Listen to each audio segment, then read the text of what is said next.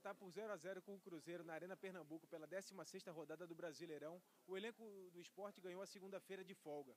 O time se reapresenta às 15 horas desta terça no Centro de Treinamento Leonino, lá em Paratibe. O clube deve, eh, Eduardo Batista deve promover um treino por dia até a sexta-feira, dia em que o elenco viaja para Curitiba. No domingo, o esporte enfrenta o Atlético Paranaense às 11 horas na Arena da Baixada. Para essa partida contra o Atlético Paranaense, o técnico Eduardo Batista deve contar com o retorno do meio-atacante Elber. O jogador ficou de fora da partida contra o Cruzeiro por questões contratuais e também porque reclamava de dores na panturrilha direita. Já Maicon Leite e Magrão continuam sendo desfalques para o técnico Eduardo Batista. Já a utilização de Elber é, deve acontecer como titular da equipe, aberto pelo lado direito do ataque rubro-negro.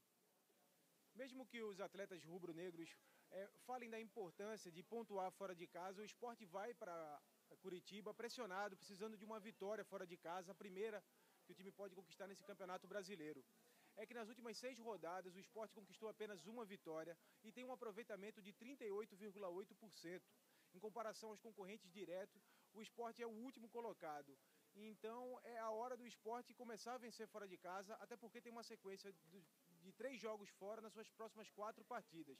Depois do Atlético Paranaense, o esporte enfrenta o Corinthians no Itaquerão, volta para jogar com a Ponte Preta na Ilha do Retiro e aí estreia no retorno contra o Figueirense em Florianópolis.